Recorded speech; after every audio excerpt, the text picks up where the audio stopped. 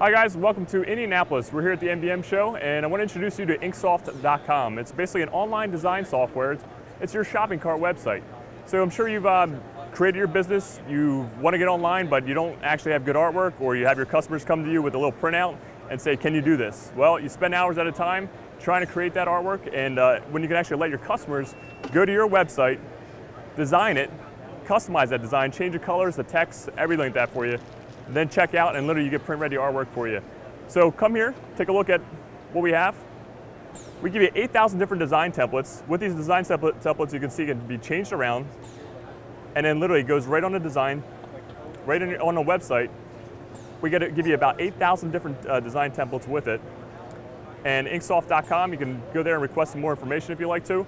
But let's go ahead and take a look over here and I can actually show you how that's done. So your customers go to the website, simply click on a design if they want to. I have one here uh, selected for champions. So if we got Higley, let's uh, say we're a sunset. And let's go ahead and change around the colors because they might not be the same colors.